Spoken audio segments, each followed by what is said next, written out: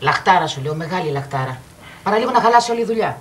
Και στο είχα πει, να μην πάω σπίτι του, το είχα πει. Στάσου ρε παιδάκι μου. Εσύ δεν είπες πως είναι full καψούρη μαζί σου. Ναι, ε, και. Ε, τι έγινε.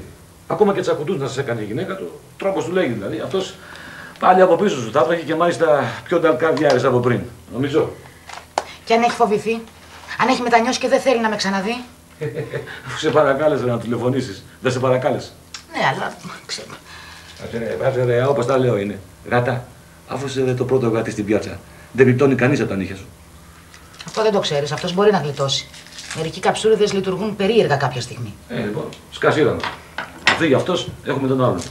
Μπάμπη, δεν μπορώ άλλο. Βαρέθηκα. Άντε ρε σαχλαμάρα. Άντε ρε σαχλαμάρα. Ναι, ναι, ναι, όπως το λέω, τα παρατάω, Μπάμπη. Μια μπάζα ακόμα ρε συνεταιράκι. Μια μπάζα και μετά. Μετά την κάνουμε πουλο τα δυο μας. Καραμελάκια τα δυο μας αποκλείεται. Γιατί ρε συνεταιράκι. Γιατί μου το λες αυτό; Μαζί δεν ξεκινήσαμε να πούμε. Το ξέχασες; Όχι. Επειδή δεν το ξέχασα, γι' αυτό το λέω. Κουράστηκα, Μπάμπη, δεν μπορώ άλλο. Δεν θα γεράσω εγώ πριν την ώρα μου. Τέρμα. Εντάξει ρε, δεν γερνάς εσύ να. Τέρμα είπα. Ε, γίνεται τώρα. τι να το κάνω. Ξέρεις, δεν γίνεται. Τι θες να πεις; Τι θέλω να πω. Υπάρχει και εκείνη η βιντεοκασέτα, ρε, θυμάσαι; Έχει γερό κονομί, Τζόντα. Τι λες, την κυκλοφοράμε, ε;